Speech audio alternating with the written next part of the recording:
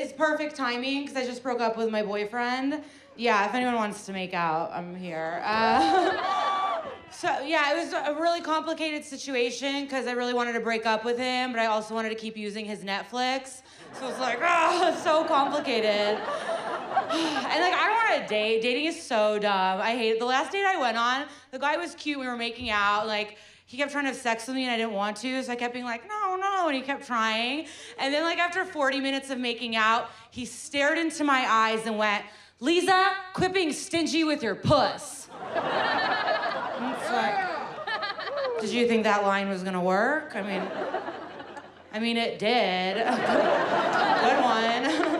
you just gotta take what you can get, you know? Um, like having sex with your friend's dad is not a good idea, and then like one time it is, and it was terrible. He had all this trouble breathing. I'm like, ugh. Um, and then he kept calling missionary traditional, and I'm like, I don't, I don't know. I just, can you please let me go home? like, I don't want to be here.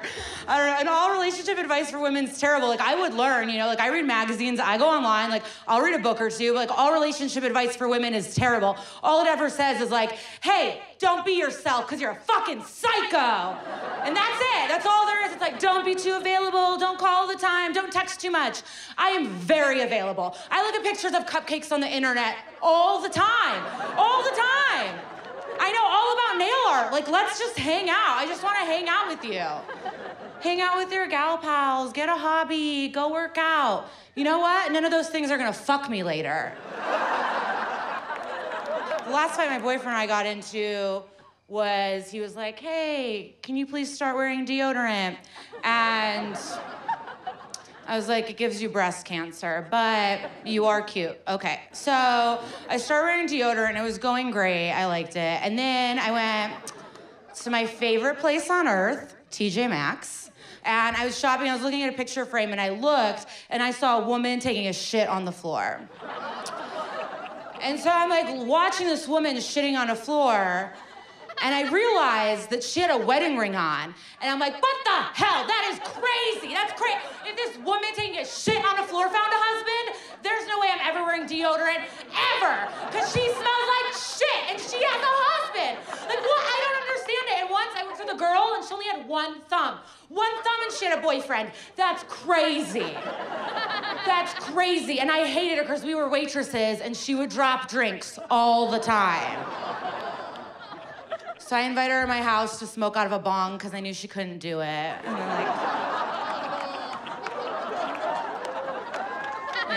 Do you want to play Mario Kart? Maybe next time.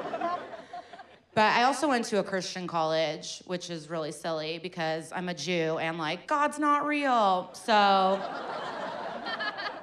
it was just a really fun time. I, I did have this class with this one girl. We took Christian ethics together. You can imagine how fun she is. And um, we're still friends on Facebook. And I was reading her status recently, and it said, I wish swallowing wasn't so important. Okay.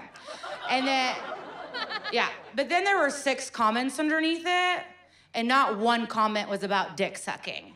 That's crazy. That's cra- I don't know one friend that would read, I wish swallowing wasn't so important, it would not think about a dick in a mouth. Like, I don't even get it. I don't even get it.